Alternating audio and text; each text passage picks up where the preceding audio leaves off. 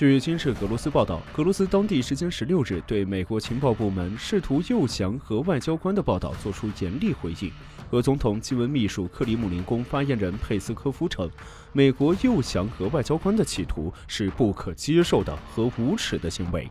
据报道，佩斯科夫十六日在一次电话会议上证实，莫斯科已了解到有关此类行动的信息，并与首先报告了这些企图的俄罗斯驻美大使安东诺夫一样，对这些企图表示担忧。克里姆林宫也知道这些信息，我们和俄罗斯驻美国外交机构负责人有同样的担忧。美国情报部门的代表对我国公民和我国驻外机构雇员做出的这种非常无耻的行为，我们认为是不可接受的。佩斯科夫说。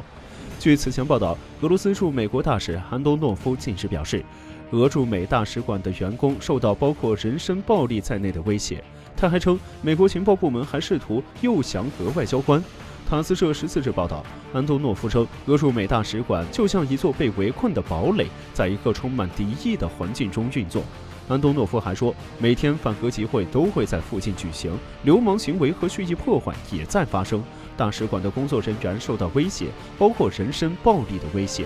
此外，据路透社报道，美国情报部门还试图与俄外交官取得联系，并推动他们背叛。安东诺夫透露，美国安全部门的特工在俄罗斯大使馆外闲逛，分发美国中央情报局和联邦调查局的电话号码，试图引诱核外交官背叛国家。